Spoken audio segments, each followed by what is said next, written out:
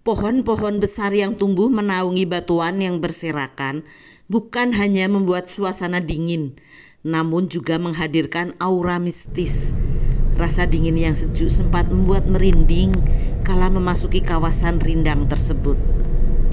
Seorang warga yang mukim di sekitar situs berkisah, dulu kawasan ini banyak dikunjungi orang.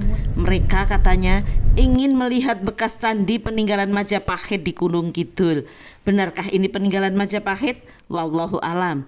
Dalam penjelasan di papan informasi, situs Dengok hanya disebutkan merupakan situs percandian dan kini tersisa berupa gundukan seluas 15 meter kali 15 meter, luas lahan sekitar 300 meter persegi dan luas bangunan 225 meter persegi. Batu candi yang digunakan dari batu putih juga diketemukan fragmen-fragmen arca di sebelah tenggara gundukan pernah diketemukan lingga membuat bangunan diyakini sebagai candi Hindu yang sekarang nyaris tanpa sisa. Yang tampak di salah satu bidang di permukiman warga di Dukuh Dengok Lor Kalurahan Pacarjo Kepanewonan Semanu Kabupaten Gunung Kidul ini hanya gundukan tanah yang ditumbuhi pohon besar.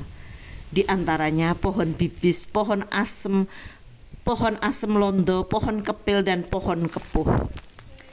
Bangunan suci itu kini merana. Selain serakan batu yang sudah tidak lagi berbentuk, di dalam kawasan itu juga ada resan, pohon besar yang tumbuh besar di bekas bangunan tersebut. Tidak banyak diketahui mengenai candi ini. Bahkan warga sekitar kini tampak lebih mengkultuskan keberadaan resan. Mungkin karena merupakan pohon tertua atau terbesar, pohon kepuh diberi selendang dan dipagari. Bahkan setiap ada warga yang memiliki hajat, mereka juga memberi sesaji ke pohon kepuh tersebut dengan menggantungkan di pagar dalam tas daun kelapa.